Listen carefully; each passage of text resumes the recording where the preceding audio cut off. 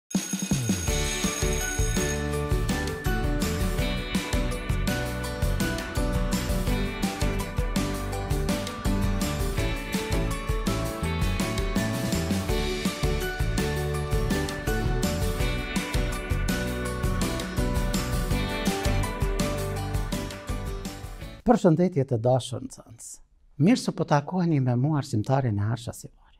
Për sot do të spjegojmë njësinë mësimore, formatimi i fotografive përmes programeve kompjuterike. Fotografi digjitale.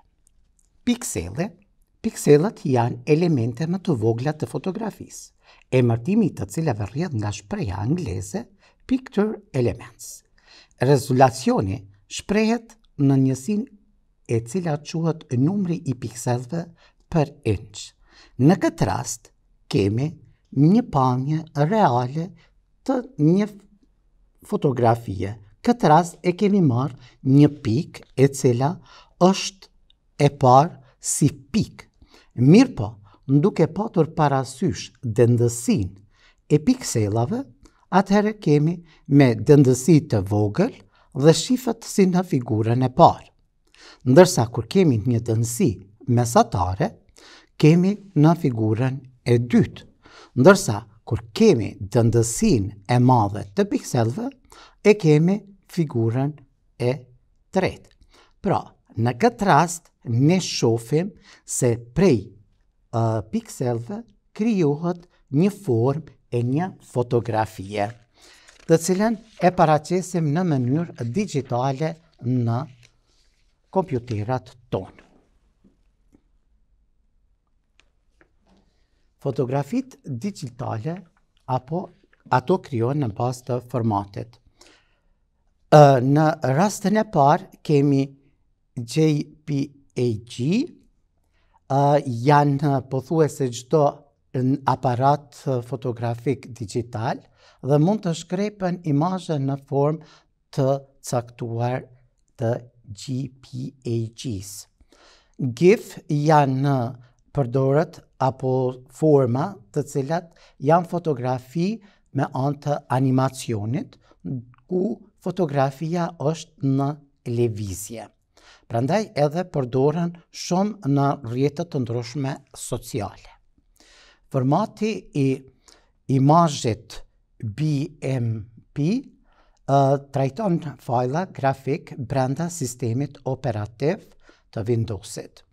Pra, përpos kësaj kemi edhe formatin e imazhit PNG, e cila u krijua si një alternativë e lirë e open source uh, për GIF format, uh, prandaj kemi të bëjmë edhe me uh, mesazhet dhe transparencën opsionale për të gjitha ngjyrat e paletës. Pra, duke patur parasysh se uh, karakteristikë e veçantë e fotografive digjitale, kemi mundësi të shofim një prej atyre formave të cilat mund të paraqiten edhe të kombinohen në format digjitale. Pra, nëse e marrim këtë fotografinë e parë, imazhin origjinal, kur kemi dy personat, dhe një imazh në prapavi, ku kemi vendosur këtë fontanën, duke patur parasysh se ne mund të bëjmë një kombinim apo një formatim të këtij imazhi dhe në fund kemi të paraqitur nëpërmes të fotografisë apo imazhit në prapavi dhe Formën e veçantë të një personit të cilën e kemi marrë në këtë rast në këtë fotografi. Por edhe fotografia e poshtme ka të njëjtin domethënie, varësisht prej formës në të cilën i kemi, ne mund t'i eliminojmë ato forma dhe ato ta vendosim në fotografi pothuajse reale të caktuar në përgjithësi. Për të realizuar një punë konkrete, ne mund të marrim programin online, i cili është PXL er, dhe ky është një prej formateve më të lehta për të punuar duke patur parasysh se programet profesionale janë më të ngarkuara dhe kanë një mbingarkesë më të madhe dhe për moshën e juaj, ky program është më i përshtatshëm për punë. Prandaj, do ta shofim edhe anën praktike se si mund të realizohet një fotografi apo një formatizim i fotografisë nëpërmes të këtij programi.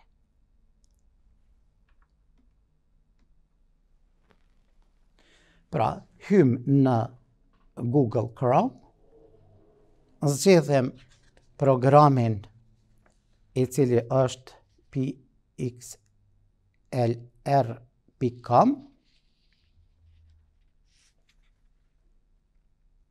Na hapet programi me këtë pamje, prandaj shkojmë tek pjesa e parë, dhe këtu ne i shofim të gjitha pjesët menytë apo historinë ku mund të kemi krijuar më herët, të krijojmë një projekt të ri, të krijojmë apo t'i shofim nga interneti, e format të tjera të cilat ne mund të shkojmë. Pra, kër, ne krijojmë një, uh, marrim një fotografi të caktuar, uh, ku uh, drejtpërsëdrejti e bartim në programin e dëshiruar, në këtë rast e kemi uh, një fotografi me Arushën panda. Pastaj krijojmë apo bëjmë fshirjen e një pjese të programit. Në këtë rast ne po i njofim me gjitha elementet e programit në të cilat të mund të krijohet puna në program ku kemi për ta prerë fotografinë në këtë rast. Uh, ma herët e patëm mënyrën e rrotullimit të fotografisë në djathtë majtë e tjerë, pastaj këtu kemi vendosjen apo uh, e formave të ndryshme të cilat janë shapes e tjerë. Pastaj efektet e ngjyrave të fotografisë ku edhe e caktojnë mënyrën e pamjes më reale të një fotografie. Pastaj kemi edhe formën e prerjes, në këtë rast bëjmë rregullimin e gomës në atë mënyrë, me anë të së cilës mund të bëhet fshirja e një fotografie të klonuar, ta quajmë kështu, ku i kemi të dy pandat, mirëpo ne tash po dojmë ta krijojmë në një ambient pandën, në një ambient vjeshte dhe po e fshim këtë pjesën e pandës së parë dhe kështu që ne tash e mbyllim apo e mshefim në këtë formën tjetër të layers menynë duke patur parasysh këtu që na e marrim apo e insertojmë edhe një fotografi tjetër, të cilën neve duhet ta përshtatim. Kjo është një fotografi e realizuar këtu në parqet e Kosovës. Zakonisht duhet të bëhet pritja e hapjes për arsye se kjo është program online, Dhe gjithmonë ndikon edhe rrjeti.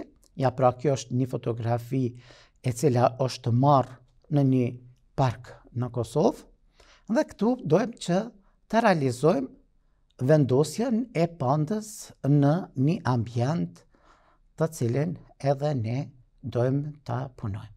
Në radhë parë këtu bëra një ngjyrosje Mirëpo nuk kam bo fshirje, tash po e bëjmë fshirjen. Gjatë punës, normal që mund të kemi edhe pengesa të ndryshme, pra këtë rast bëhet fshirja e kësaj pjese të fotografisë, dhe ne pastaj ia bashkangjesim edhe fotografinë e pandës, edhe në këtë mënyrë kemi bërë një kombinim të mirëfilltë të një fotografie apo të kombinimit të kësaj fotografie në përgjithësi. Kështu që mund ta ruajmë uh, këtë punimin tonë, uh, tash duhet patjetër, masi që është online ta downloadojmë me emrin e fajlit panda, kështu që është ruajtur informacioni jonë dhe e kemi në dokumentat tona të downloaduara. Detyrë. Të dashur nxënës, për detyrë keni për të bërë një formatim të fotografive sipas dëshirave të juaja. Për më shumë hulumtime, rreth këtyre mënyrave të formatimit të fotografisë, i kemi edhe literaturën e paraqitur